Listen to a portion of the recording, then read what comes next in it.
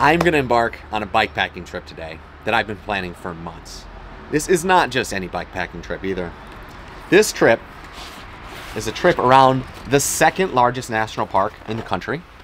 It includes the longest piece of single track in the country, the Old Ghost Road, the longest great walk, the Heaphy Track, a Heartland ride, the Great Taste Trail, endless amounts of gravel, one of the most beautiful lakes I've ever seen, beaches, palm trees, and most importantly, this is the national park I've spent the last summer guiding in on these tracks.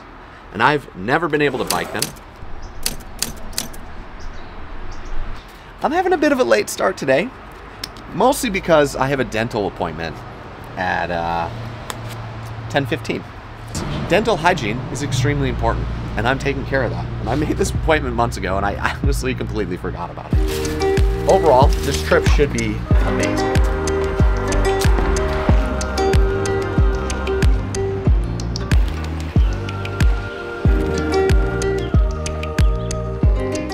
At this stage, I have three main logistical issues that I need to deal with on this trip. The first one is getting actually to the Kahurangi 500 trail. It doesn't go straight to Nelson, so I took a little trail called the Great Taste Trail, and I'm gonna get up all the way to Tapawera on that. Once I pick up the Kahurangi 500 in Tapawera, I'm gonna start heading east. The next logistical issue we have is that the river on the Heaphy track needs to be crossed. And uh, I've been checking the old weather here, and it looks like it's gonna rain. And whether you're experienced in river crossings or not, it's probably easy to deduce that when it's raining, uh, it makes that more challenging. I'm definitely gonna be riding into the dark today, but for right now, I have a bunch of pasties and a custard square, and uh, we're gonna get up onto some gravel and we're gonna ride into the night.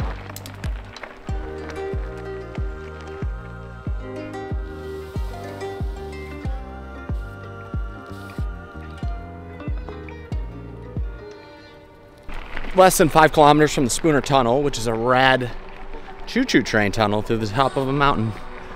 It's 1.3 kilometers long, which is almost a full mile. I got Google mapped today because there was a small closure on the trail that I'm using, and it took me up into some crazy forestry road in the middle of nowhere. Um, so I had an hour delay. I had to backtrack. But that's all right. The views are beautiful. The vibes are good. We're getting to camp at dark anyways. So what's a little bit later than, than dark? It's still dark.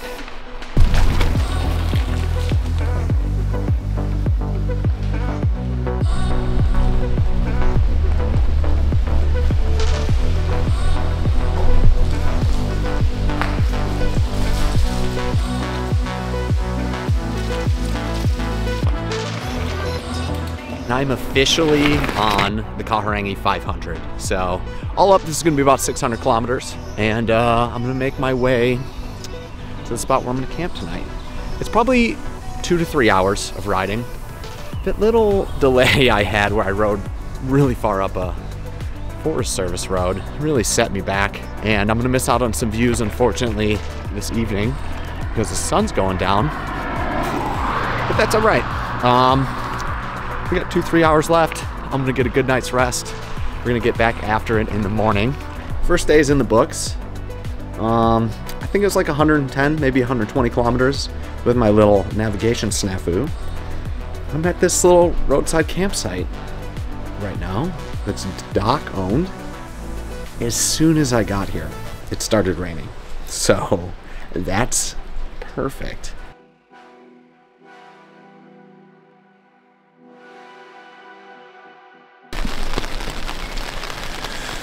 Do you hear that lovely sound? That's rain.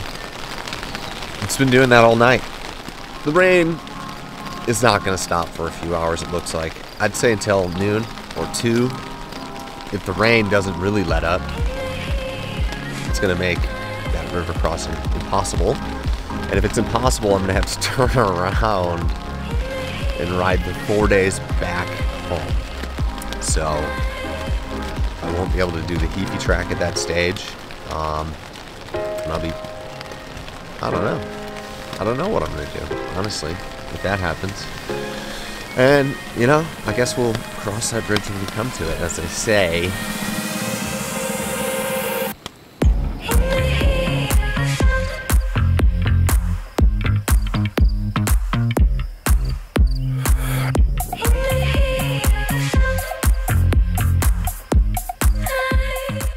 Sat and warmed up, had some coffee, and now I'm making my way from Lake Rotoroa all the way to the Braeburn track.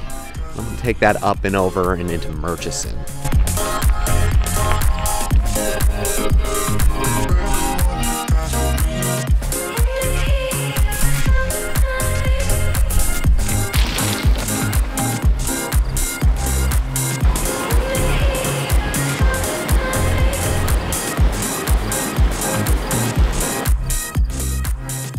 Found this sweet barn that has has a power source in it.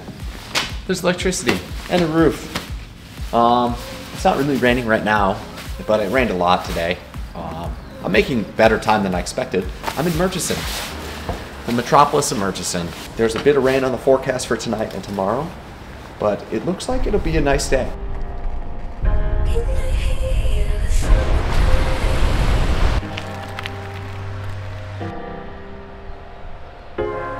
Looks like this is home for tonight. I'm stoked that it's here because the tent is wet, for one. For two, the sandflies here are hellacious. So it keeps me away from those because it's a screened-in porch. Three, I'm going to try and get an early start tomorrow. I'm really excited for this trail. This is the Old Ghost Road. I have guided on this trail all summer long. So this is, I've already done it multiple times. I've walked it multiple times. I've run it once and this will be the first time I've biked it. But I've wanted to bike it forever, and the Old Ghost Road is extremely special. I think it's one of the coolest trails around.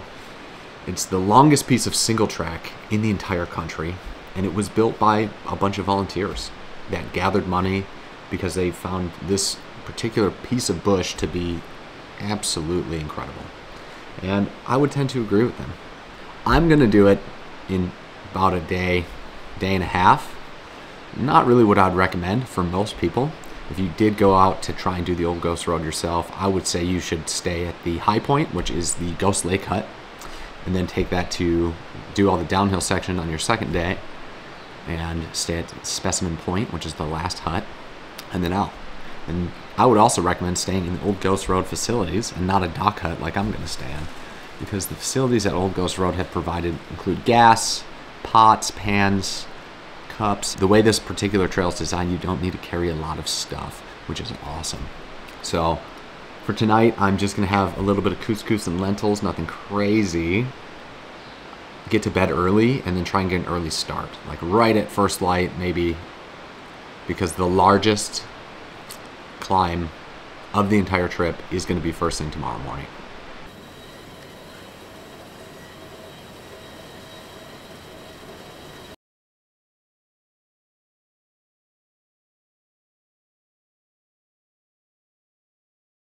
It is looking like it's not raining, which is awesome. It was supposed to. Got about 2,000 meters of climbing.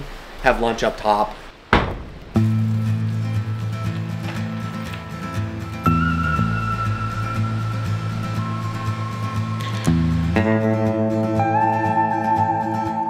You might be asking yourself, after spending an entire summer here, why would you come back and bike around it? I assumed with every guided trip, the trails would become more mundane but the opposite actually happened. Every pass through the trail, it started to feel more and more like home. At the first hut for the day, this one is Lyell Saddle Hut. Part of the reason I'm doing the Kahurangi 500 at all is so I can do a lap around my favorite national park in the entire country. And if you are in New Zealand, I strongly urge for you to come and check out the Kahurangi National Park in some capacity because it is just absolutely epic.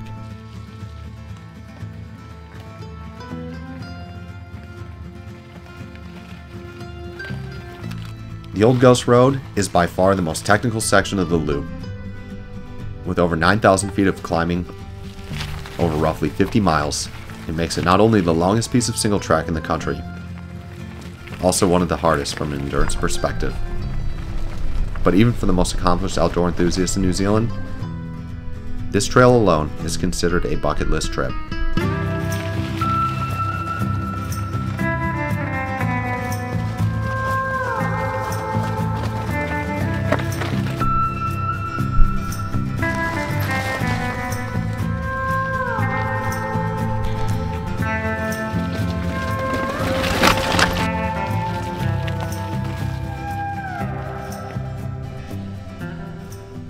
This is Ghost Lake Hut. And uh, I don't know, it's just empty. And I just feel like right now, like really the, the summer is over. I spent a lot of nights up here with groups, guiding. And the time that I've spent in New Zealand has been awesome, unexpected. It's been so many different things. But I just never knew when it would end. And now that I do know, I think like right now, it's really starting to hit me that it's over.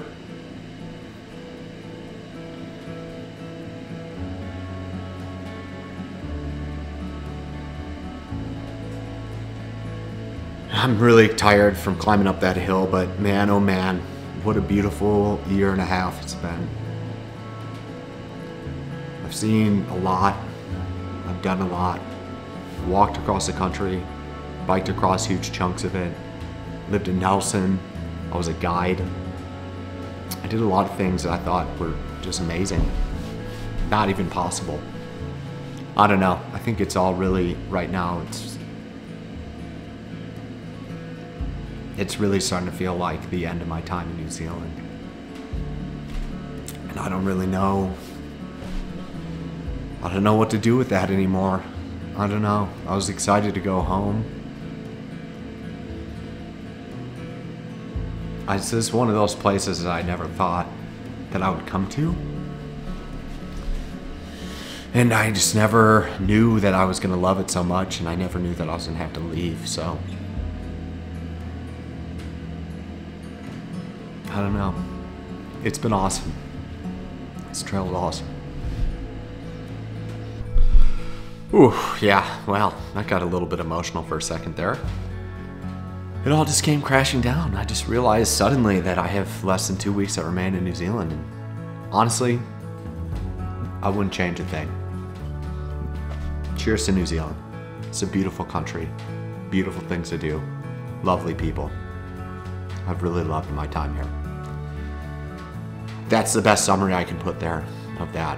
And spending this time on my bike, revisiting some of the places I've already been, seeing some of the scenes I've already seen, but more importantly, going around and exploring one of the areas that meant the most to me of my entire time in New Zealand.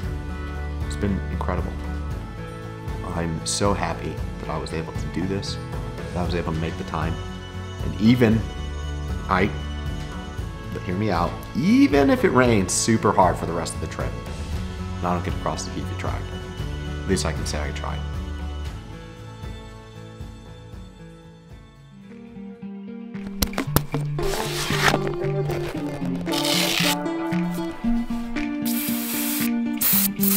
I just got that bad boy downhill ready.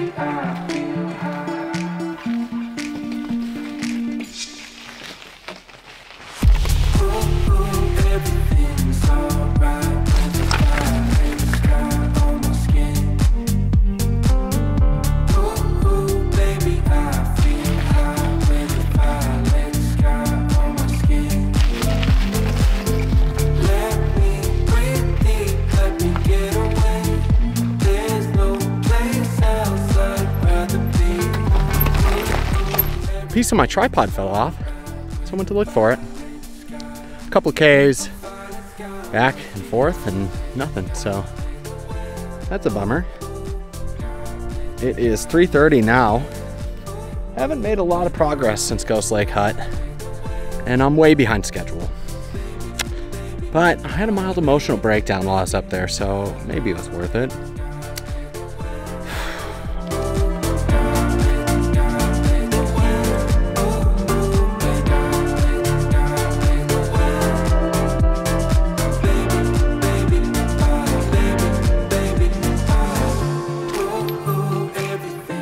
30 minutes from sunset. I have an hour of usable light left. Over 20 kilometers of riding. We'll see how much I film in the next section. I'm saying very little. That's my estimation. Because I'm smoked and my tripod's broken.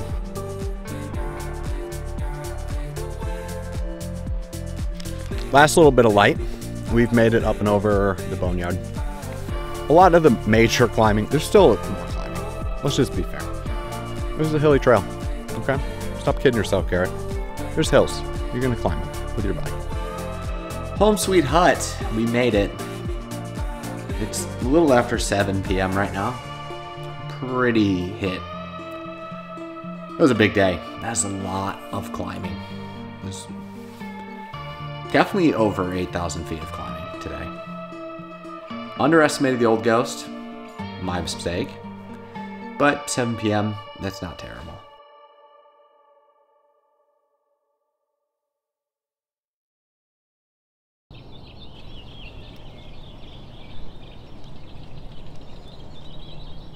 We got about 18 to 20 kilometers left on the old Ghost Road, and then we're going to ride over to Karamea. Fingers crossed that the uh, Four Square is open. So it's going to be a good day.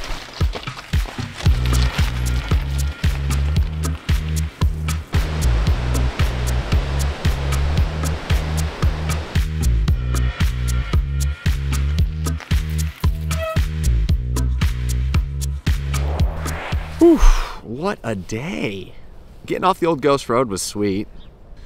There was a large quantity of moisture falling from the sky and hitting me in the face and eyes.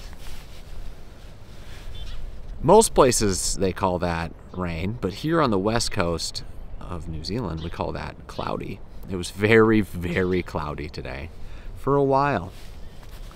I rode about 85 kilometers. I'm in Karamea now. Karamea is the end of the road, and it is where I get onto the Heaphy track tomorrow. It rained a lot. I'm very concerned about that river crossing. I also filmed very little today because I put the camera away and just kept it there. And I had a headwind for a while, and then it turned lovely into a tailwind. I've got deli- two delicious packs of kimchi ramen I'm gonna smash at this holiday park tonight. Very affordable. Comes with a shower, a kitchen, a lounge, electricity, and there's $13. Sign me up. That's a deal and a half right there. I'm here for tonight. I'm gonna wake up as early as possible tomorrow, get packed up, and ride out to the Heaphy. And hopefully I can get across that river.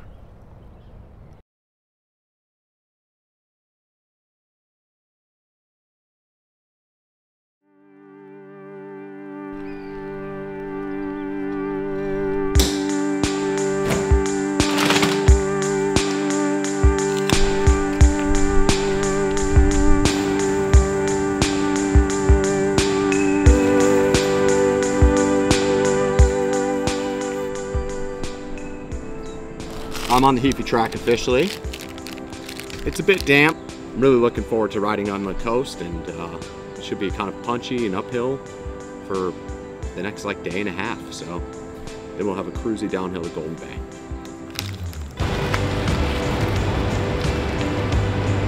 With the level of rainfall in the last 24 hours, the thought of crossing the river seems hopeless. But I'm taking comfort in the fact that in a few short miles, I'll have an answer to the biggest question mark of the entire trip. Right now, I'm just gonna have some lunch. And I met another cyclist while I was on the Old Ghost Road. We got in contact last night, and he's gonna meet me at this hut, and we're gonna cross the river together. That way, it's just a bit more safe. You know, we have eyes on each other, and we can just see how the conditions are. Um, he's a young man from Germany who's been cycling the South Island. So it's cool to get connected with him and uh, have a little bit of a buddy system. So for now, I'm gonna have lunch in this immaculate hut, relax until he shows up, um, and then we're gonna get after it.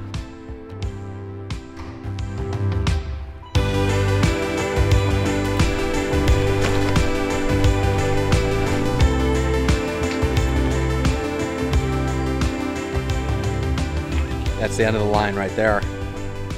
That is where the track ends and the bridge used to be.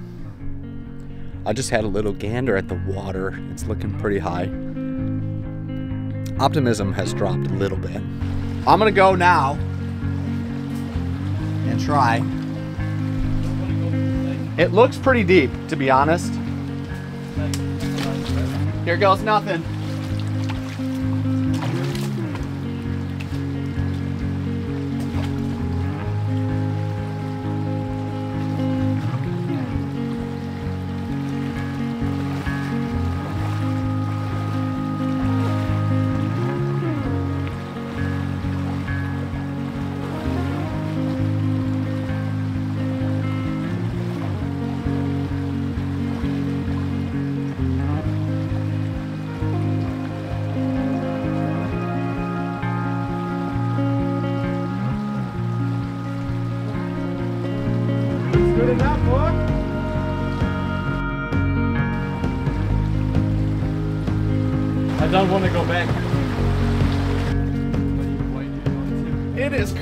Crossable, baby. Woo!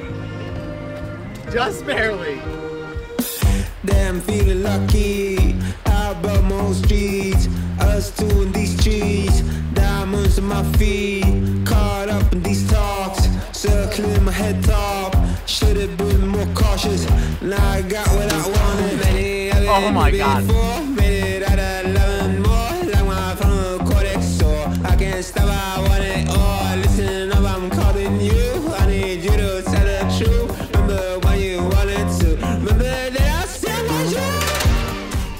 Well, that problem is solved.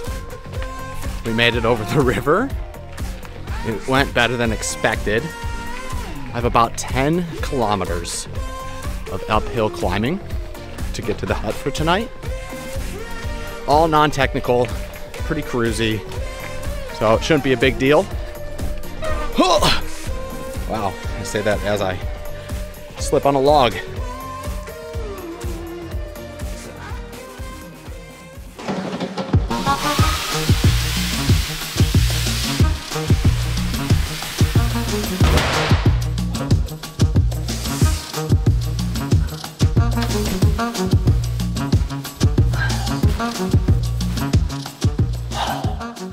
Time's sake, I'm gonna sleep under the table tonight.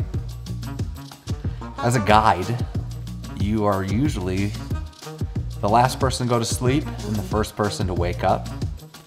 And in the bunk rooms here in the huts in New Zealand, it's just a bit awkward to come in late and leave early. But the weird part is there's motion sensor lights in the hut. So in order to stop from turning the light on in your sleep, you have to sleep under the dining room table like this. I've had numerous people in the hut look at me like I'm a crazy person when they get up in the middle of the night to pee. They're also quite startled when they turn on the lights and see just a pair of legs sticking out from under the table, but it's pretty effective, and honestly, I got really used to it. To have your own space in the hut is pretty rare, so.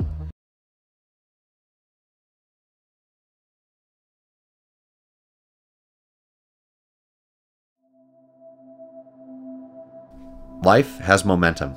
You cannot stop it. Things, places, people, they change. With any luck, maybe they'll change you too.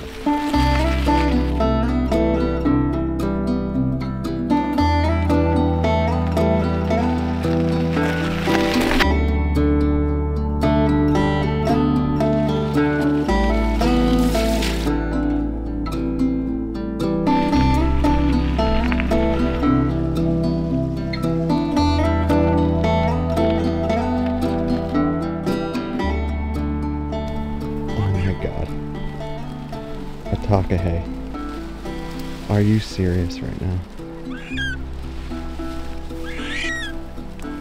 This is a super rare bird.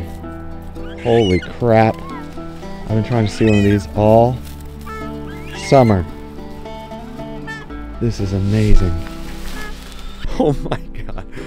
I have been trying all summer to see these birds. They're super rare. You can find them rarely anywhere in the world. There's like four of them right here. But I've done this 17 times, and this is the first time I've been able to see one. I don't even really care about birds that much, but man, I want to see a takahe so badly. It's insane. They're, they just walk right by me.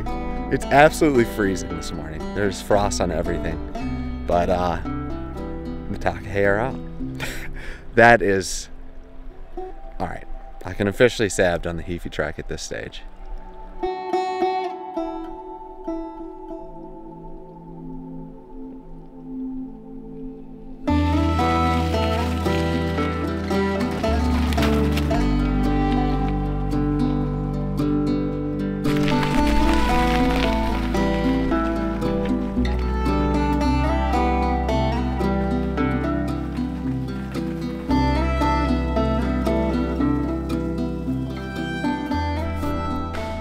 I'm at Perry Saddle Hut. This was the first hut I stayed at as a guide. I've never seen it this early and this clear. It's so beautiful. I have a punchy uphill left, maybe two kilometers. I've done the upper traverse and almost all of the climbing. I'm having a bit of lunch here.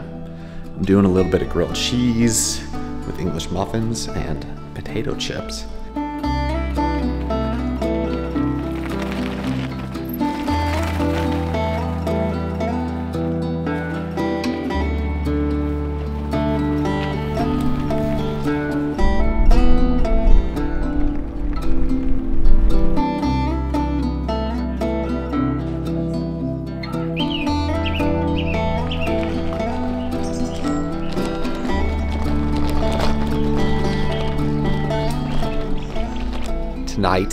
I'm not in a DOC hut, nor am I in my tent. I'm in a nice little caravan outside of my friend's house. I'm in Golden Bay. Um, it was awesome to catch up with a friend, have some dinner. She made me some delicious fish tacos with some fresh caught snapper. It was excellent. Uh, we had some soda water and some tea. Sat by the fire, got caught up very relaxing end to a long and hard day on the Heaphy track. For now, I'm going to get some shut eye. I am exhausted.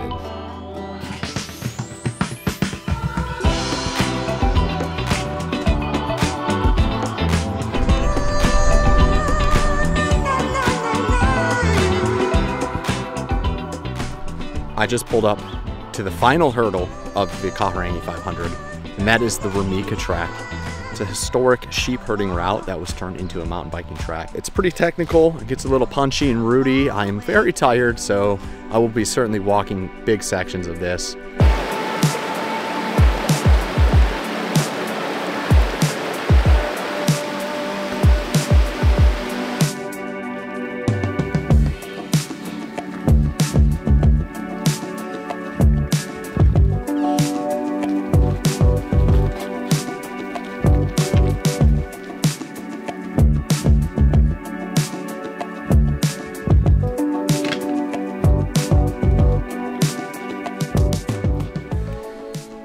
Gets real rough, just walk it.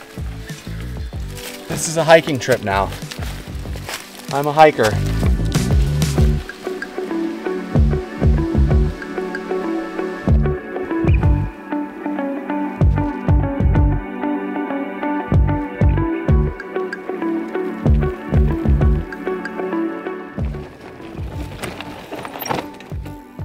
All right, ladies and gentlemen, the verdict is in. I am virtually at the top of the Takaka Hill. I'm 95% of the way through the Kahurangi 500. Clockwise or counterclockwise. Honestly, do what the website says. I definitely think this was worse going clockwise. All I wanted, the whole point was so I could ride down from Ghost Lake Hut into the Mokihinui Valley on the old Ghost Road and do it the way that that is intended to be done. Not worth it. Old, oh man, I had way more walking and hike a bike than I think I would have if I went the other way. So that's it. Woo! Counterclockwise it is. Let's do the damn thing. We're going downhill to Motueka.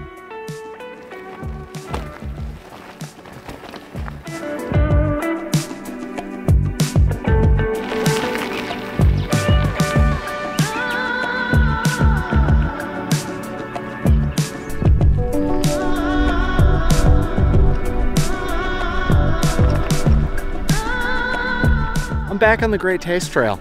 The Kahurangi 500 is over. It's about sunset right now. Got about three hours left to go. Be getting home about 8.30, maybe 9 o'clock at night. It's been a fun one, honestly. It's a great way to send away New Zealand. I got a week left from today, but I think that it was an excellent way for me to reflect on my time in here in New Zealand and uh, really get some appreciation for all of my experiences and the people I've met in a way that I might have missed had I just got right into packing, thrown all my stuff on a plane, and headed home to the States. So, um, usually I always cope with any type of sadness or emotion with exercise. So, this could not have been more perfect. We just gotta head home. Maybe 50 kilometers left, so. The greatest emotional investment of all is falling in love.